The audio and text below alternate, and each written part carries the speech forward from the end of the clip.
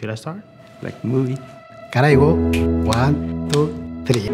If I had to talk to someone who knew nothing about data for health, I would say, do you know how in our family we track milestones? Like birth, death, marriage, divorce. Data for Health does the same thing, but on a national scale. The Data for Health initiative in Zambia In China, In Mozambique. in Uganda, in Cambodia, In Rwanda.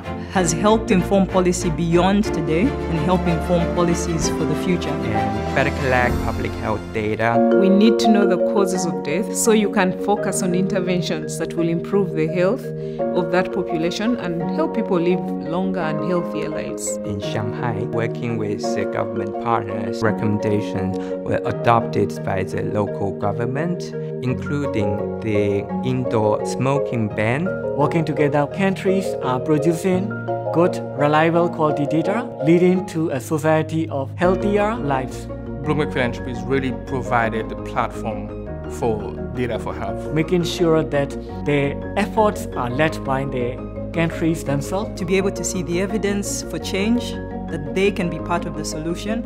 And become this powerhouse on data for health.